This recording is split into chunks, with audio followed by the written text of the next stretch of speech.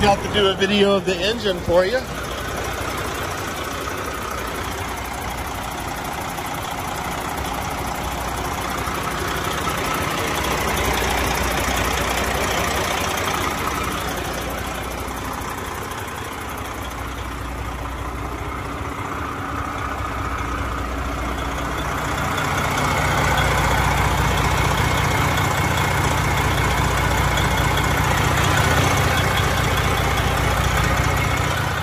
Thank you guys for checking out our videos.